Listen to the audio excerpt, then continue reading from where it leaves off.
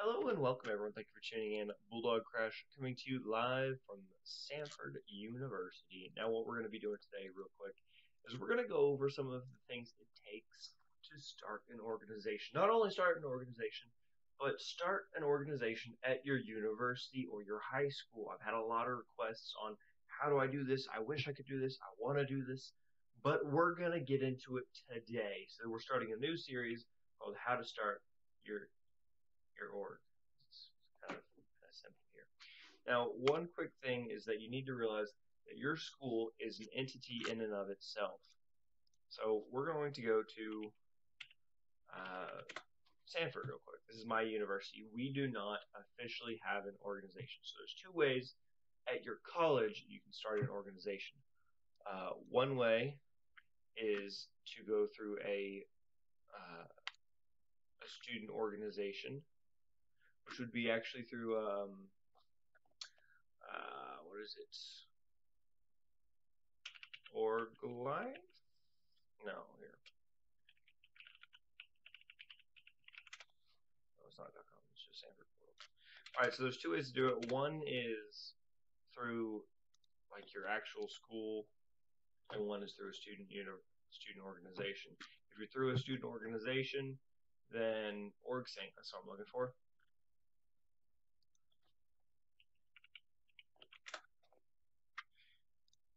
So you're through like OrgSync.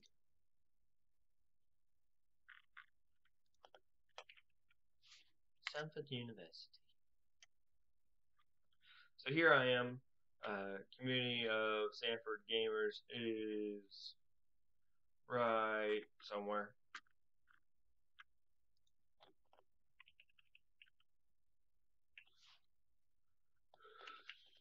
Of Samford Gamers. So this is what Bulldog Esports is a part. We are a branch of community of Samford Gamers, and this is kind of how we exist. Now, ooh, that's tomorrow. Yes, I will attend.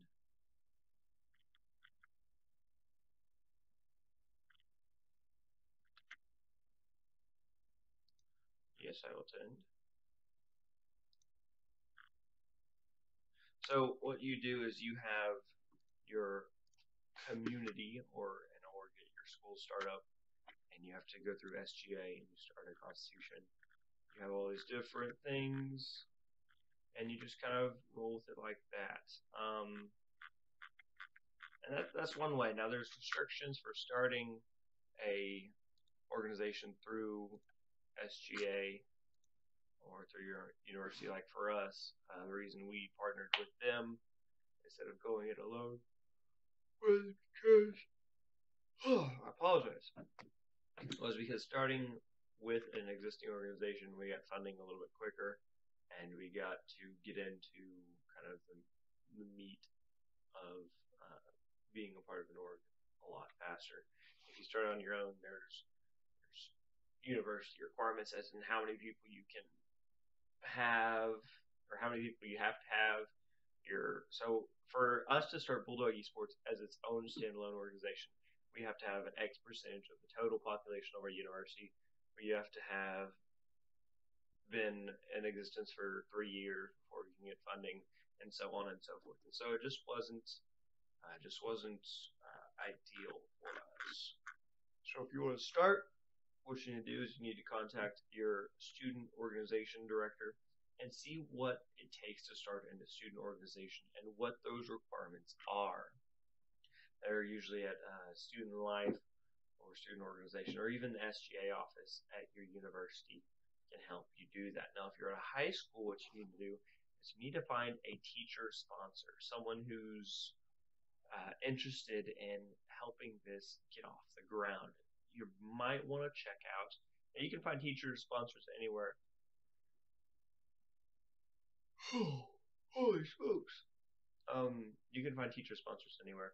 Some of the best people are economic teachers or um, research technology professors, people who are in kind of the computer side of things. They're usually really on board for esports. Uh, one quick great tip is that esports helps raise uh, GPAs, and you can get scholarships to college now for it. So there's there's kind of a tip there. Now, that's kind of how to start an esports org. Very brief, very rough, not very broken down at all. Um, let's see if I can find it real quick. Organizations, here we go. So you just start an org, you log in, and you roll with it. And that's kind of how how it goes on the college level. Now, say you have an organization already made. I remember one person had said, we'll go to Twitter. They said that they have an organization and they're really pumped and excited about it. Here it was. They said, well, we got our collegiate esports branding approved by our administration, but we can only use their approved vendors. Ugh. That can be a big letdown, and I understand what you mean. Getting them to go through your vendors, that's what schools want. So the idea, there's two good, there's a positive and a negative to that. The positive is school says, yes, we'll brand and we will pay for your supplies, which is awesome, meaning that you don't have to pay for stuff. However, they'll only want to send money to people on their approved vendor list and purchasing. And the reason for that is they don't want to be they don't want to be spending money to illegal activities or anything. These people, they know who they are. They're in their accounting books. It's really easy to buy from them and get it on, and there's no questions about it because they're approved. They're approved to do dealings with the university. The university, if it turns out that the university's been buying shirts from sweatshops in India, they're in trouble. So yes, it seems like that's a huge letdown, but it's not because there is a there is a there's a light. There's a light at the end of the tunnel. The light is if you can get whoever, if you can go out and find the supplier or vendor you want to supply you with, you get them to request to be a vendor, and it's super simple. Samford University, again, my my college, kind of tells you their hours, you go through what they hold on inventory, you know, all this other stuff. Boom. Boom. Things to remember when requesting new vendors. To ensure vendors are added into our system in a timely manner, please complete as much of the form as possible. Uh, be sure to include your contact information at the bottom. And look, it tells you who to contact directly. So we click this, and look, there you go. So what you would need to do is you need to get your school sponsor to find this form for your university or your high school and fill it out. For your high school, it would be a school district. So if we went to this is a school district that I went to back in Texas. You'd go to so literally when you're looking for you want to look for it's not going to be in students or schools or anything. It's going to be in like the higher ups. Look for words like purchasing, financial, uh, admin.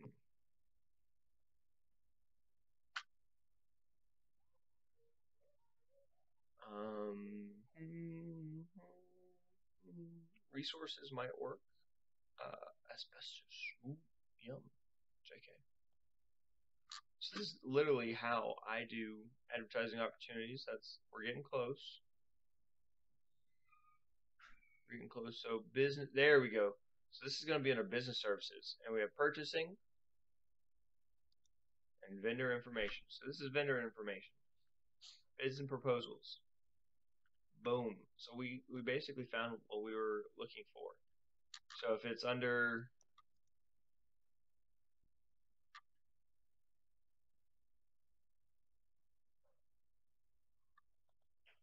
Yeah, so look, there's there's the information we need to, to solicit to this high school school district, and the same thing applies to all schools. You got to go out and find it.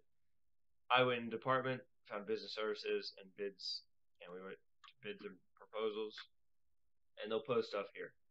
So they're a little bit different, but for a university, they're going to list it out there. So if you find that, say, for for us, like Bulldog Esports, Arma Centrum makes great stuff, and they do, like this, which is that, or that, or that, or that, or this right here, which is great stuff. Like, look at this hoodie. Ooh, look at that hoodie. Look at that hoodie. Now you could also get a Nike wrap. I know most most schools are already sponsored by a Nike wrap because Nike is just the god of sports wraps. And so you can get this stuff. You can customize something with a Nike wrap and have Nike jerseys. It'd be Nike and it'd be your esports team. So you could do that. But if you want something like Arma Centrum, who's an amazing brand, I believe that they also do FaZe. Uh, let's go find out. I think they do FaZe. Pro stores. Yeah, FaZe Clan, SK Gaming, Bulldog Esports. So they do a bunch of big stuff. If you want to get jerseys from them, you'd go to contact and you'd fill out this stuff and be like, hey, listen, we want to build kind of a, a jersey combo. However, I need you to work with my school. Can you apply? Get on their vendor list, and then I'll have my contact work with your contact and look at all the different designs y'all can get. Y'all can even get flags. So that's how you'd have to do it. That's how it's done for getting a vendor added to your school, and from there on, it is easy peasy. So recap. What you want to do is you, if you're starting an org, contact your student organization office. Try and get see if you can start a student organization for gaming. That way you can get a movement. The biggest thing is that if you're at a university and you don't have a student organization for gaming, it's going to be hard to get people on board. But if you start an organization, then people know this is official. This is real. Come here. You'll be drawing people in. You'll be sucking in the ocean of gamers at your university. Once you do that, you'll have leaders step up. You'll have entrepreneurs step up. You'll have people who gamers step up. And then you'll find that it's actually a great culture. And that's when it really starts to blossom here. Um, at Samford, we're relatively small, but we do have good gamers, and we're still working. I'm still still working on my end trying to get things to blossom like such. Uh, the biggest thing here, though, is to know that it doesn't happen overnight and that it will take time and sometimes it's hard. But if you do it through the right channels and you do it the right means, you can do it. Make sure you're not like claiming, I cannot claim Samford University's Bulldog Esports. But I can say I'm part of Samford University's community of Samford gamers. Bulldog Esports a part of community of Samford gamers because community of Samford gamers is connected to Samford University. Bulldog Esports isn't. So that's just kind of a rundown for that. Thank you for tuning in. If you have more questions, leave them in comments. I'll make another video kind of explaining it. And that's about that. If you go to the Esports is Your Sport website, there's actually a breakdown of how esports, professional esports works, uh, with an entire entire graph, which is a phenomenal. Like I took forever to make that thing, so we're gonna go. And there's a, a video. So here's our, our website. You can sign up and subscribe for new updates. But look, you have developers of the game, you have sponsors, you have you, sports organizations and how it all kind of mixed together from even just you as a player or you as buying team gear, buying tickets, buying product, developers making games, to teams and players. So that's kind of how, how that goes. Thank you, everyone. Thank you for tuning in. And as always, Bulldog Crash, be here today, but I'll be back tomorrow. Thanks for tuning in.